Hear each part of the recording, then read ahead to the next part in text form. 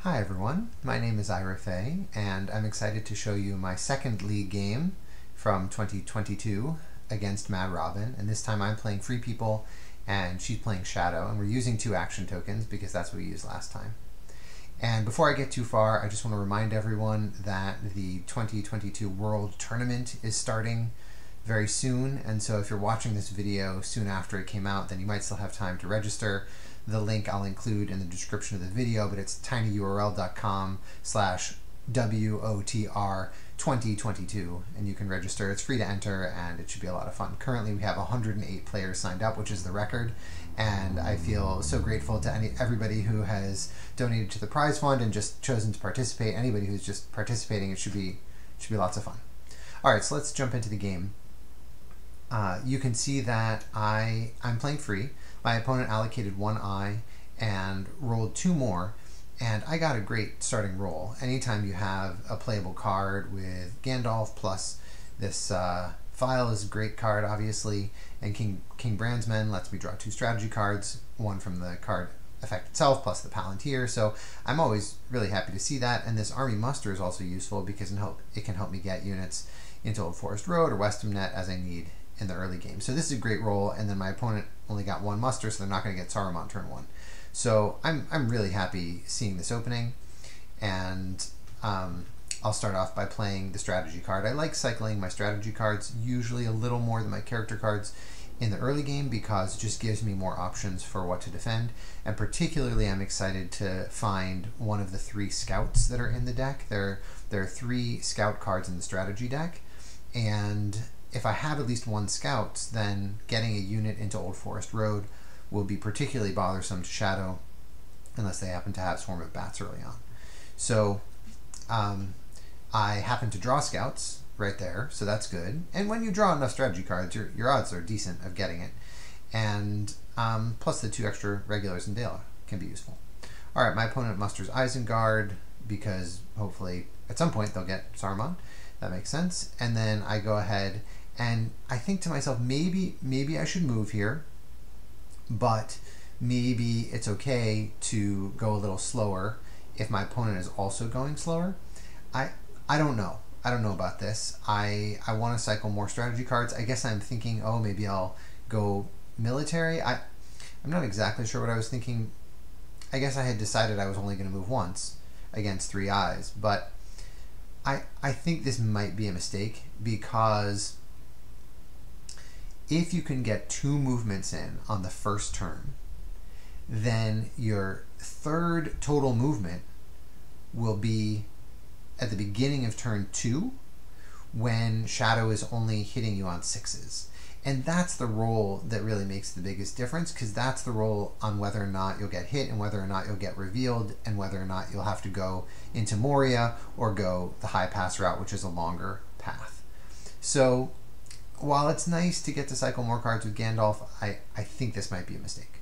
Alright, I do end up playing Guards of the Citadel, and I get another scout, so I have a lot of flexibility there. My opponent organizes some armies in Mordor, and then I go ahead and move, and they miss, and then I and then they move one army to Morannon, and then I get some armies going to Old Forest Road and to Westemnet. So with my scouts, I'm very happy to put units in Old Forest Road. I wonder about maybe, I don't know, maybe I should move this unit from Carrock. It seems like, you know, just if I'm trying to predict what my opponent's going to do, it seems like they're probably going to send this Morannon army up north because they didn't get a lot of musters, so they may be delayed on that. But if they get sort of army movements or character dice, they can still keep their armies moving north. So maybe it would have made more sense to keep three units in Dale and just move this one from Carrock over. I think because I had uh, a second Scouts card, I was thinking maybe I'd have time to play Grimbeorn and get the the actually play it for the card effect and then get the elite and the uh, leader over to Old Forest Road. But uh, yeah, I, I don't know. That that might be a minor inaccuracy there. Okay, and then my opponent gets their units moving north. That makes a lot of sense. Okay, so I get Bilbo Song, obviously a little early to get that, and then my opponent allocates one eye and rolls zero musters.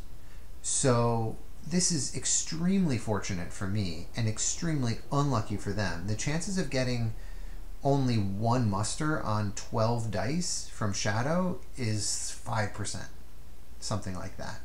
So this is a very unlikely situation and obviously hugely to my advantage. Um, now, you may notice I also just drew Book of Mazarbul. Now, if I was thinking to myself, this is a great time to go for a military victory or try try a military attack, you know, that's maybe why I was I was cycling into more strategy cards. And if you look, I can actually I can actually do it this round if I'm willing to use a um, use a ring. So, for example, I can play. I can use the Will of the West to separate to separate Strider. Then I can use a ring to move companions. Here, I'm just going to demonstrate it just so you can see. So I take Strider. I, I use my Will of the West. I'll undo in a second so we can get back to this. I use my Will of the West to separate Strider and let's say Gimli or Legolas, whoever. Let's let's bring Legolas. All right, Gimli, just for this example. And I get to move since I've moved the Fellowship once, and Strider's uh, level is three. I get to move a total of four regions. So I go one, two, three, four, and now I'm in Old Ford. Then for my next action, I'm just gonna I'll move this up here. For my next action, let's say I uh, I'll use this army muster and a ring. So I'm using an elven ring here to move companions again. So I get Gimli to Old Forest Road. I get Strider down to Parth Celebrant. Then I my next my next action, I use a Palantir die to play Book of Mazarbul, which lets me draw an extra card from Gandalf, move Strider to Minas Tirith, move Gimli to Erebor, activate the dwarves, put them straight to war, and then last action of the turn, use the Will of the West to crown Aragorn and Minas Tirith. So I saw this. I saw this during the game, and I'm gonna I'm gonna undo it now. So I saw that whole sequence from from all of those dice, and I decided not to do it, and and I regret it. Um, making this video, I'm like, oh, I can't believe I'm gonna have to make this video and explain that I saw all of that and then just chose not to do it. Um, so my thinking is, I, the reason why I didn't do it in the game was because I thought that it, there's only one eye, and therefore my chances of making progress with the fellowship is very good, and um, Shadow is going so slowly right now that I, I should just keep making progress with the fellowship while they only have one eye.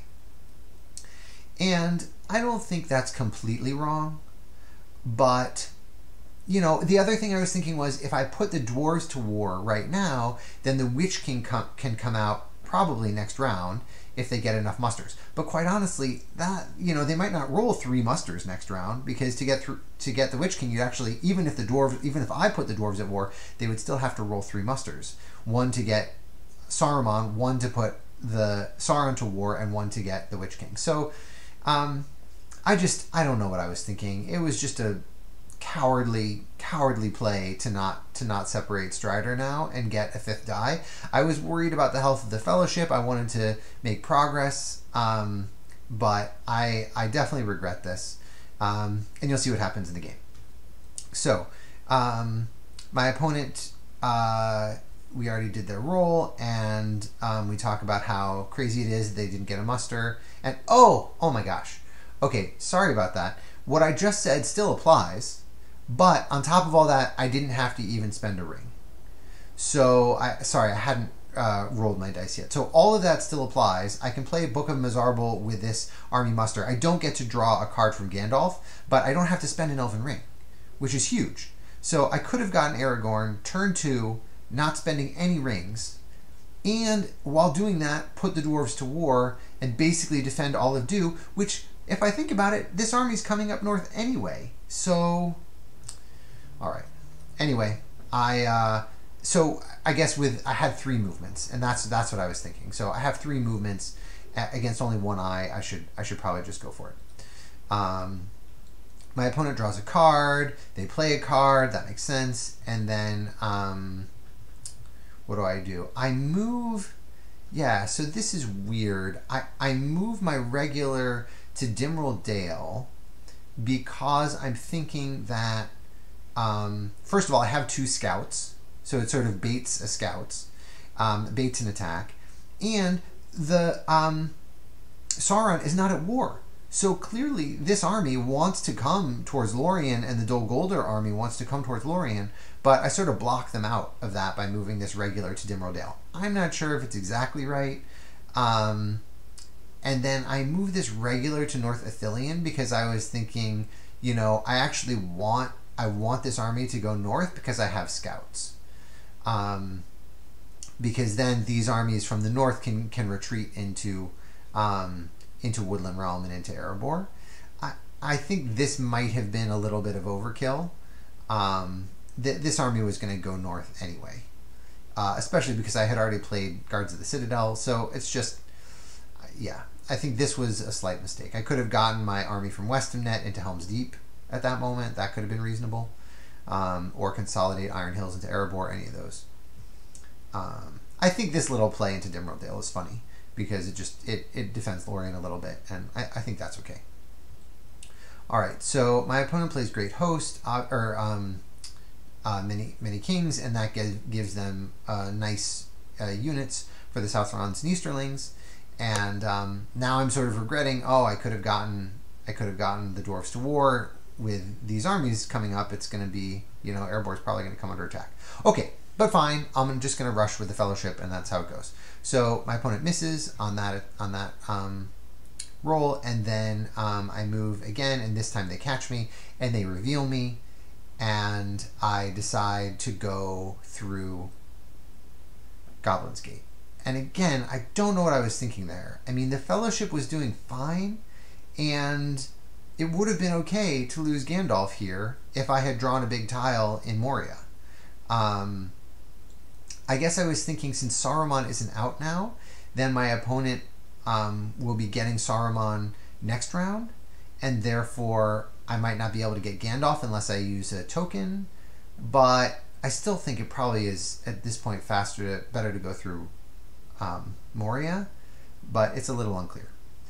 Um, Okay, so um, also I ran the numbers afterwards, and against a single die, only a single eye, if you move twice at the beginning of the game, Shadow has, I, I if I'm remembering correctly, a 27% chance of catching of revealing you at least once on on only a single eye.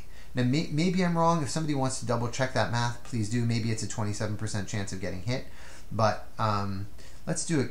Let's do so, just some quick math. If we do, um, if we do five sixths, which is the chance to get missed, times four sixths, which is the chance to get missed again, that's going to be. So what's that math? 5 times 4 is 20, so 20 36ths. That's your chance of getting missed. So 16 out of 36, you're going to get hit, even just on one die. And then you figure about half of that is, even a little more than half is a reveal. So we're looking at about 8 36ths, something like that, 9 36ths. So, um, yeah, that's about a quarter, right? Um, so so a quarter of the time, if you move twice, you're going to get revealed. So obviously, this isn't like it's not great for me that I got revealed here, but eh, you know, it's nothing like the bad luck that my opponent had for not getting a muster, for not getting a second muster, right? Like that was a five percent chance for them to only roll one muster. This was a twenty five percent chance for me to get revealed on one of my two movements. So, you know, I think the value of a single eye in the hunt box for Shadow is is pretty good. You you do have some chances. It, it, it does a lot of work for you. Um, okay, so I go ahead and hide, and um, my opponent gets their um, armies to right, you know, right up to do, which is sort of what I encourage them to do by moving this unit to North Ithilien. But now, you know, I'm not feeling that great actually. Like, this is a big army in East Rhûn. This is a big army in Northern Rhovanion. So, you know, how different would this be if I were going to roll five dice next turn and had a companion in Erebor and the dwarves were at war? And we ended like this. Very, very different feeling. So, the, obviously, the fellowship wouldn't be as far along. Okay, so that's how it went. I draw some cards. This is a tricky situation. I'm curious to know what you would discard here. Obviously, I'm happy to see Círdan's ships. That's always a good way of defending Dol Amroth. Obviously, the elves aren't at war yet, but it seems like they're going to be at war from this army. From the um, so I think I ended up discarding Book of Mazarbul. Yeah, I, I sort of decided, hey, I'm not going that route. It's a little strange because you know maybe I could get someone there, but I just I'm just going to try and run with the Fellowship. I think is my plan. So my opponent only rolls two musters. So even if the dwarves had gotten to war last round, they still wouldn't have gotten the Witch King this round.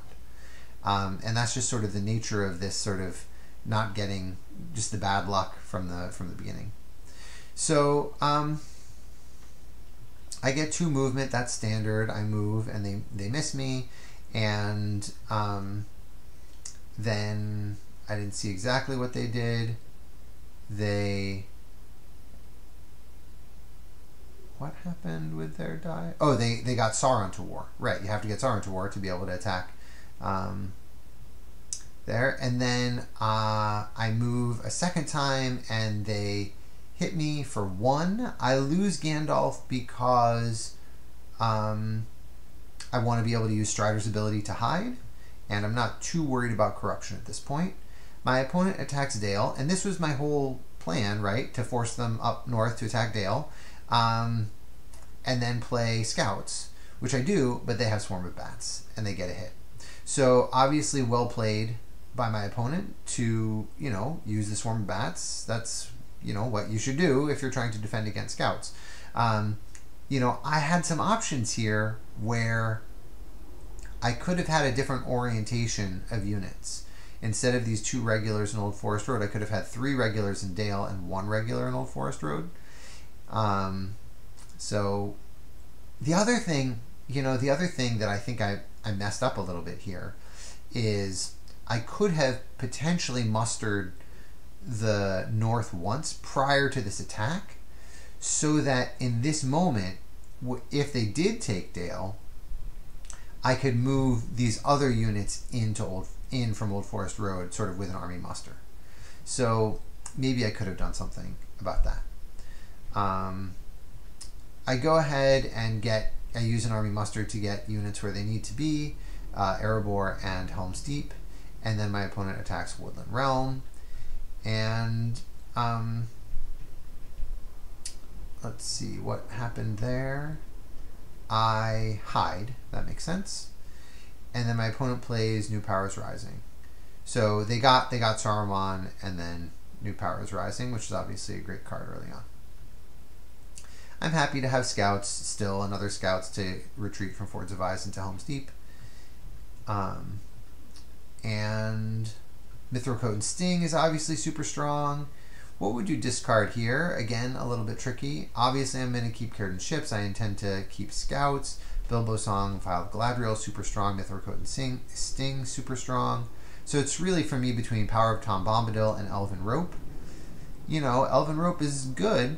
Um, but uh, it's I think I, I'm I want to make sure the North can go to war, and it feels like I guess North going to war doesn't matter that much, um, but it feels like these units um, from North and South Dunland may come over to the Shire, and Power of Tom Bombadil can be a nice surprise, and also um, advantageous position is a more useful combat effect than um, than obviously it is a gift.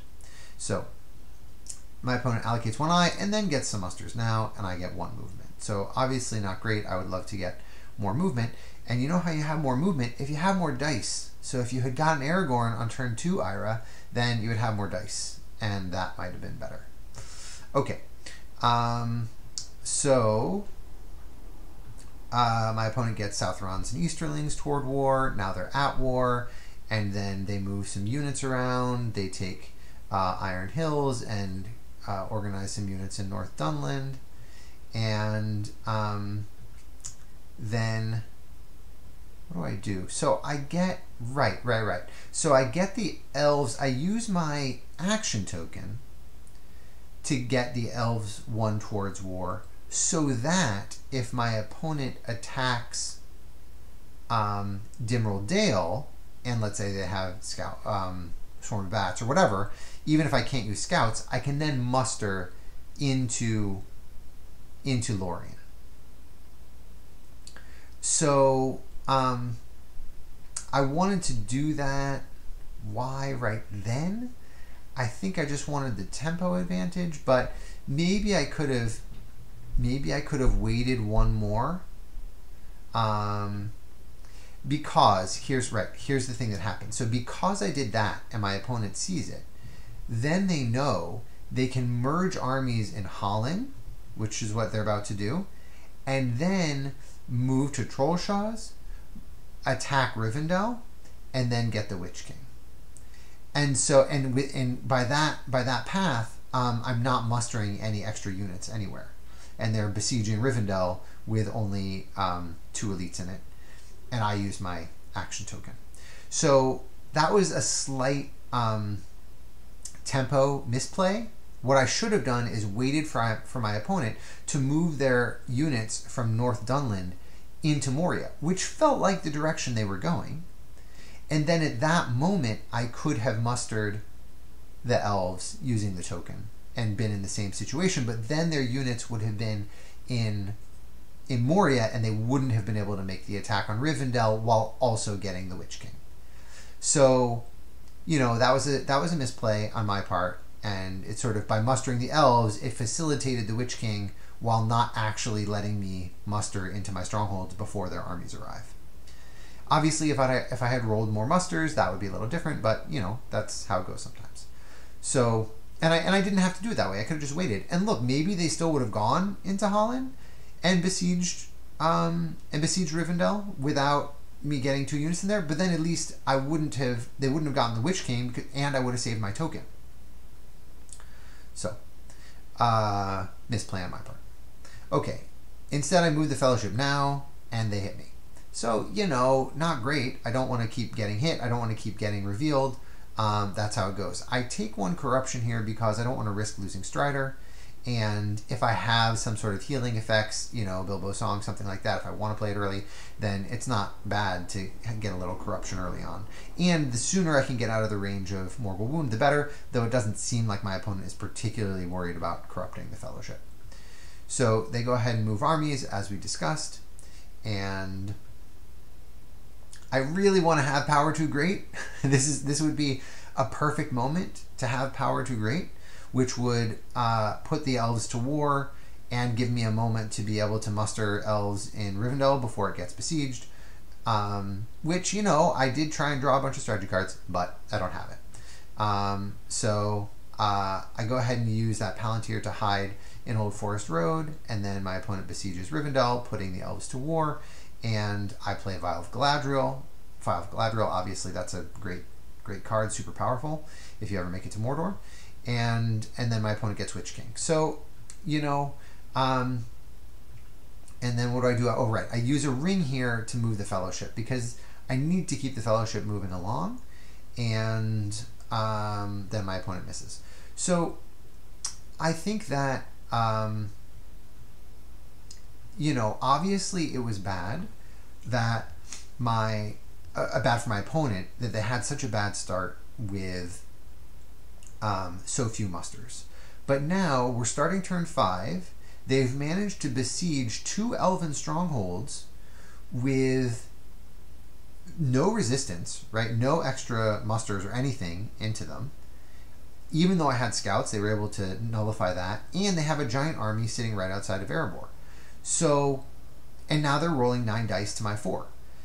So, I, I think it's a good. I mean, I think my opponent played really well, but I also think it's a good lesson for Shadow to just, you know, stick with it, get your armies moving to the right spots, and then eventually you're going to catch up and get get some extra dice. Like eventually you're going to roll some musters and get your minions in. And um, you know, it would have been good for me to roll a Will of the West that round. Um, you know, I, I, didn't get a Will of the West, so I couldn't bring Gandalf back. Um, but it's also a lesson, you know, maybe for um, for free people, even if you think that do is going to be safe, it's often a target. And so, you know, not only would it have been nice to get Aragorn, the fact that I could have really defended do quite successfully by getting the Dwarves to War turn two without suffering the drawback of the Witch King coming in too early. Um, yeah, I think that was a pretty unfortunate mistake on my part. All right, so I draw Power Too Great right now. Um, you know, it's still okay. Um, I declare the Fellowship because there are some cards that Shadow can use if the um, Fellowship is step one or higher. Um, so I do that.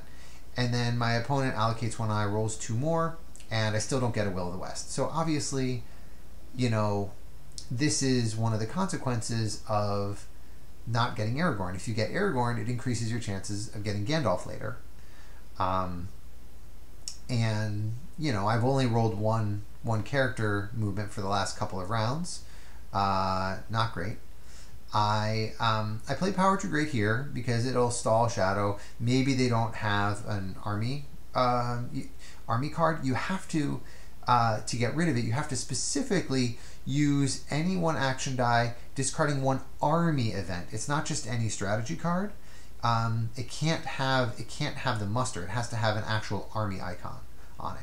So there are you know there are some quite you know I, I don't remember. I think it's like half or something like that in the strategy deck for Shadow, but they don't, you know, you might not always have it. So um, this is a way of sort of stalling stalling Shadow, and um, it works because they run away with the Witch King. That's always satisfying. It'll give me time maybe to draw um, the reinforcement card for Rivendell. That would be nice.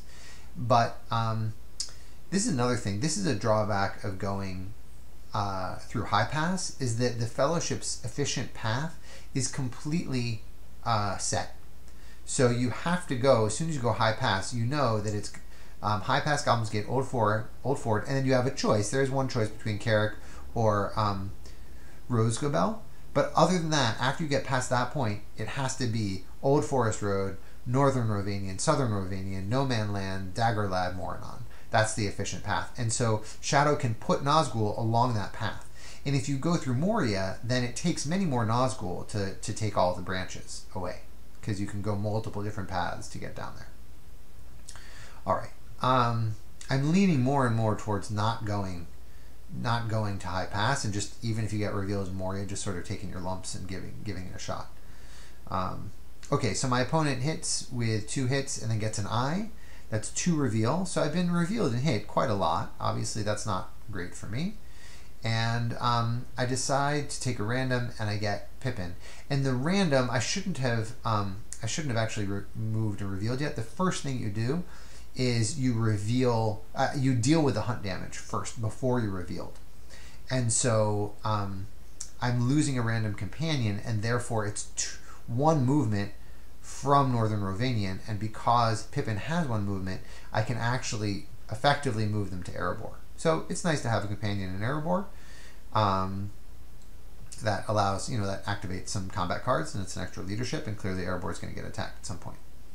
All right, my opponent plays Breaking of the Fellowship here, which, if you look at the hunt pool, um, this is just a beautiful time to play Breaking of the Fellowship. I think my opponent had this card for a while, um, but was reluctant to play it because they didn't want to give me a free separation of Strider um, if I wanted it.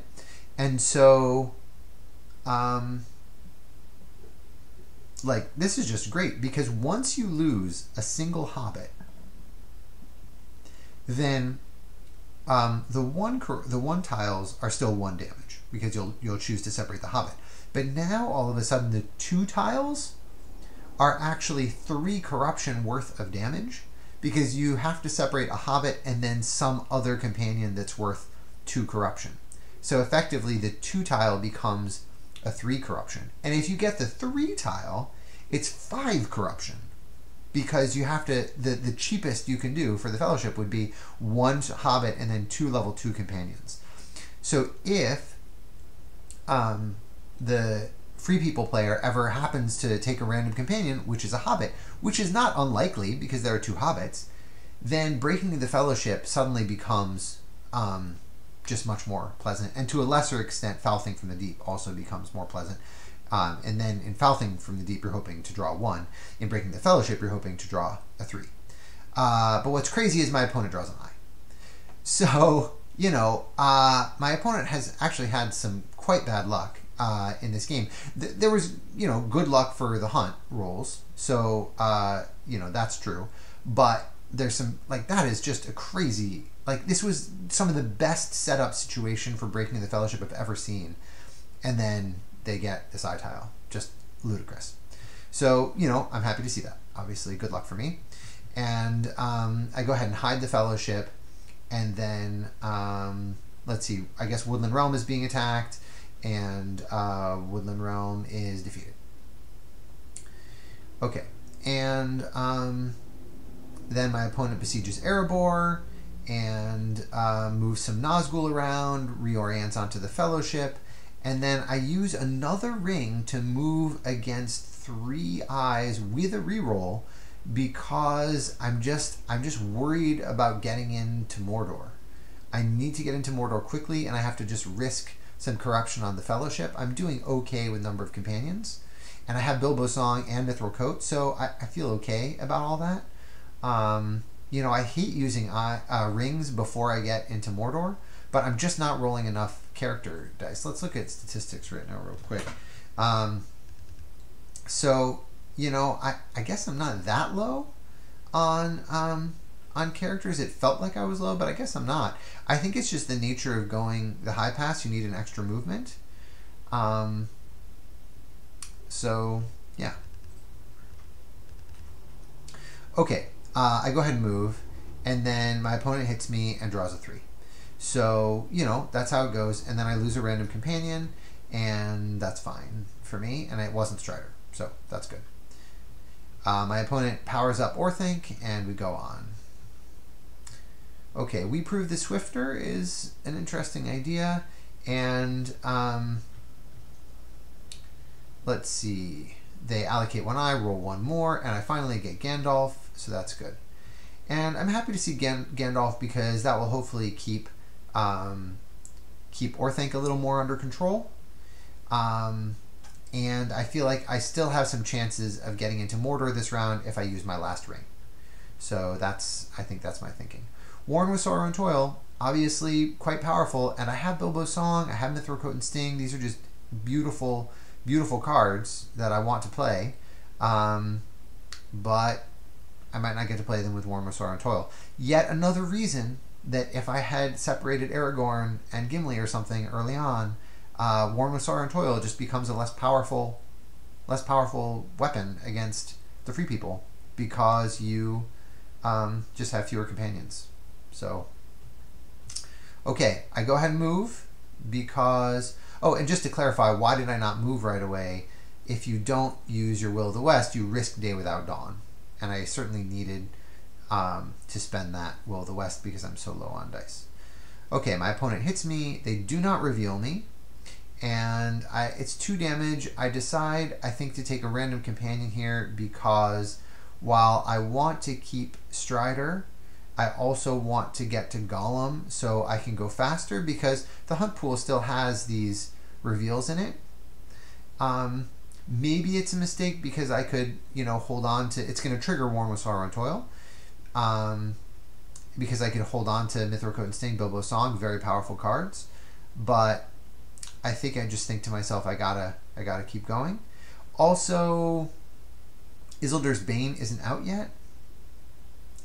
I don't know. Maybe, maybe it would be better to just take to take two right here. Um, yeah, maybe that'd be better. But okay, I decide to take a random and I lose. excuse me. I lose Merry. And the thing about this is, normally with Worn with Sorrow and Toil, if a hobbit is a guide, you can use their guide ability to separate them from the fellowship, which does not trigger Worn with Sorrow and Toil if you're using the hobbit's guide ability. But if you take the hobbit as a random companion, that does count as a casualty, and you do lose a card to Worn with Sorrow and Toil. So this is this is definitely bad luck to for me to lose Merry, but maybe it's good luck for not losing Strider. Um, so I don't know. Is is a little a little strange there.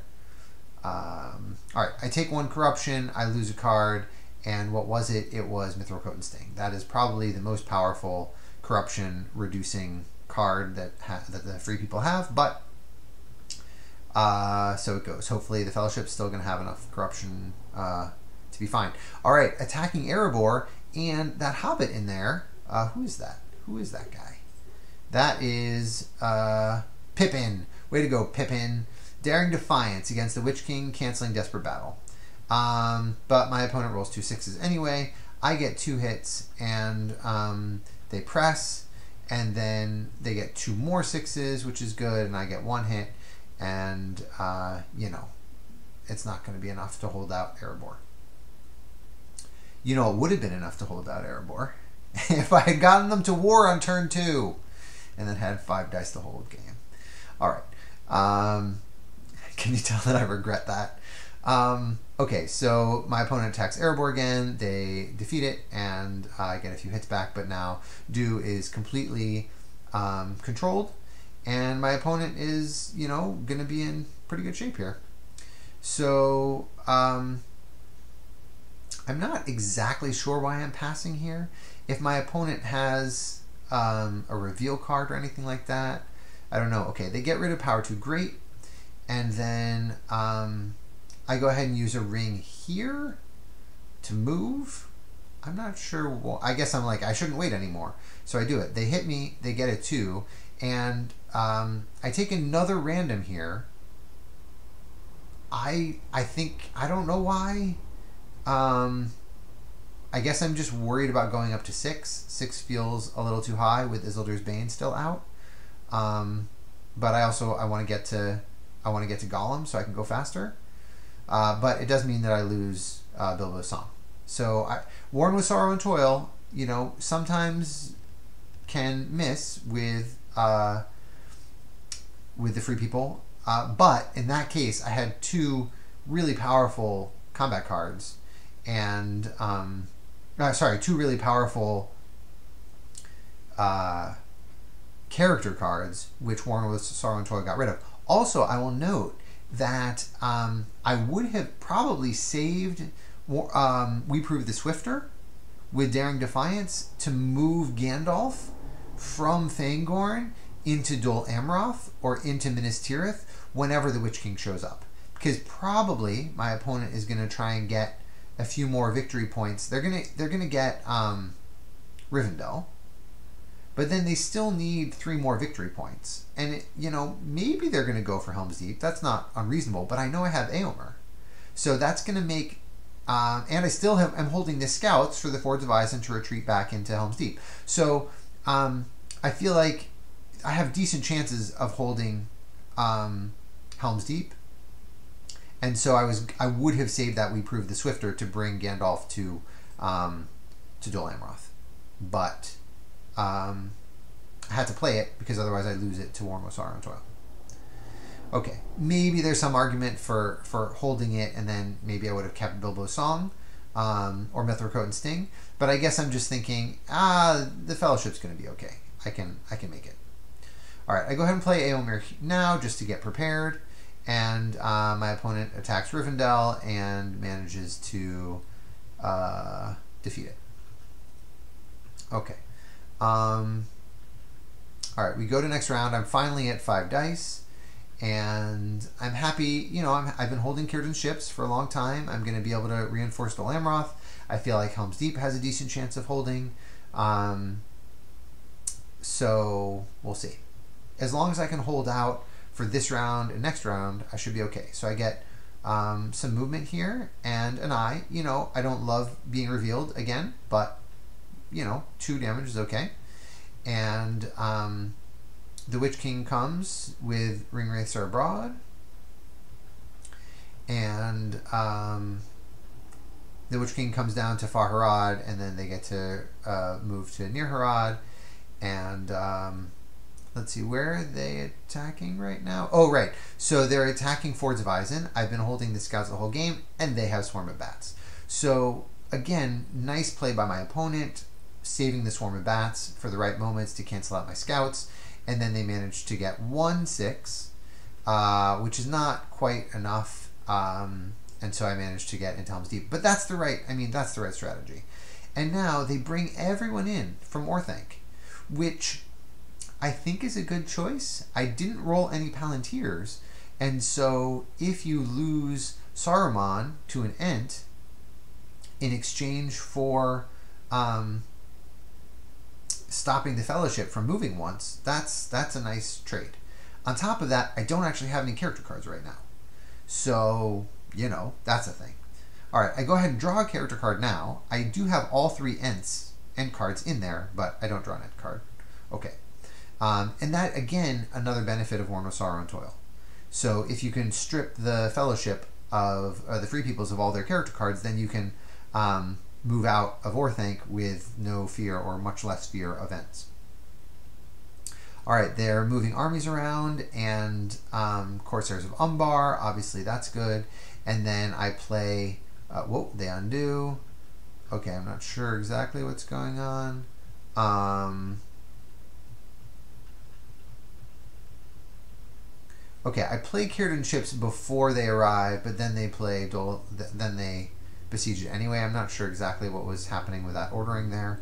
Um, I muster Rohan, and I think my thinking is if this army can attack out of Helm's Deep into this army in Westemnet, then they won't be able to take Edoras. Um, so that's why I do the Rohan muster. But of course, my opponent properly takes Edoras right here. Uh, they're defending Dale quite vigorously, and if they can take Dol Amroth right now, then they win the game. So um, I hide with the Fellowship, and then um, my opponent plays Grond. Obviously, that's a great thing to do, and you get to uh, do a bunch of damage in Dol Amroth. Um, they let's see exactly what happens. We have some daylight, and then I manage to inflict some damage, and then they press, and we get down to uh, this situation where they have, or they're pressing again, and then they roll, and they roll three sixes. So I think their chances of winning that, particularly with Grond, are, are quite good. Um, I don't know exactly what the odds are, but obviously, if I had, if I still had had We Prove the Swifter, I definitely would have brought Gandalf down to Dol Amroth, and that would have made that battle quite different. So Worn with and Toil did a lot of work that game, um, and I think that the choice to not bring Strider down to Minas Tirith while also getting the Dwarves to War, while also not even spending any Elven Rings, um, would have made a pretty huge difference in the game. I would have gone slower with the Fellowship. The Fellowship would have had less corruption. Um, you know. But then I could have played things like um, Bilbo's song before I lost it, right? I would have had the dice to do that. So, um, you know, I think my opponent played really well with just a horribly unlucky start, and um, this is a good example of Shadow just staying staying persistent and getting their armies in the right places and and moving efficiently. So well played. Uh, let's look at the statistics just so you can see where statistics were. Um, so um, remember that these are reversed. There's a bug in a replay. So my opponent was plus five on sixes. Obviously good. Um, and Gandalf did take a little while to show up, but I think, you know, I, I think this is not unreasonably uh, lucky combat for my opponent um, given how unlucky they were with the start. Um, I will also say that uh, we wondered about we wondered about the hunt, and um, I put the I use my hunt simulator, and let me show let me show that. Um, maybe I oh okay here we go. Okay, so this may be a little hard to see, but um, this is my hunt simulator, irafay.com slash wotr.php. And basically what you can do is you can put in each of the hunt rolls that Shadow actually had, um, and whether or not they drew a stronghold tile or um, a card tile or something like that, like Orc Patrol or something like that. I, I counted a stronghold tile from um, Breaking of the Fellowship, which is a stronghold tile basically ignores eyes, but it does inflict damage and, and it ignores reveals, uh, but it does inflict damage for the corruption. So I felt like Breaking the Fellowship sort of is represented by a stronghold tile. It's actually a little bit of an underestimate because, um, as we saw, Breaking the Fellowship would have inflicted more damage than actually what was listed on the tile, given that um, a hobbit was already missing. But I included it there just to be more re- more reasonable. So what we would expect, given the actual rolls that happened in the game for the hunts, we would expect um, 4.7 successful hunts. So about five successful hunts. We would expect about uh, three reveals and about eight corruption inflicted on the way from Rivendell to Mordor. That's what this is. Now, what actually happened in the game was that my opponent got seven hits. And so you can look at the number of successful hunts. The chances they would get seven successful hunts, 97%. You know, this is meaning this is 97th percentile, 3% chance that would happen. Most times, if these are actually the dice that you roll when, when hunting the fellowship, you're not going to get seven hits. So this is certainly, you know, above average. Um, in terms of reveals, they actually got four reveals, um, which does not happen very often. And um, they got. Uh, oh, sorry. I, am sorry. I misspoke. This is wrong. I said 3%. It's actually 9%. So the the next the next one up would be three percent, but this one so it was nine percent, um, and really you have to add up all of these to be fair. So it was uh, really uh, twelve percent to get seven reveals or more is what was what this is telling us. Um, and then in this situation, this is four reveals is 24% or more. That's adding up all of these numbers down here. And corruption was 11 is what they actually inflicted, um, which is 23% chance. So again, they were above the bell curve on reveals and hunts and corruption, which obviously are all correlated. But um, their start was horribly unlucky. So, you know, for people who say War of the Ring has a lot of luck in it, yes, there's randomness, but there's a lot of randomness in a lot of things, and overall, often things balance out. So yeah, my opponent got unlucky with the with the musters, but they got a bit lucky with the um, with the hunt, and that slowed down the fellowship enough to give them enough time to get their ten victory points. So this was a great game. Uh, my opponent played really well, and uh, we went one on one in the league. And um, if you are still interested in joining the league, it's open. Anybody can join. It's you know just friendly games. You you play people at your tier, and um, and then at the end of the year, it lasts all of 2022. At the end of the year, um, whoever there's a group of us, whoever has you know the high higher scores, uh, you get to play in a you know playoff tournament to determine league champion. But it's just like slightly more exciting than uh, rated games. Um, so that was it. I hope you enjoyed it. If you um, are still here, thanks for watching, and um, I look forward to playing with a lot of you during the 2022 tournament. Have a good rest of the day.